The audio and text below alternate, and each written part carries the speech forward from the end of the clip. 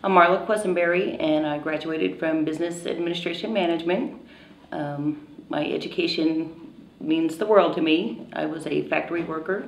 I worked long, hard hours, and coming to college um, really made a difference. I'm a professional now and can dress up every day and business hours, nine to five, and I enjoy that.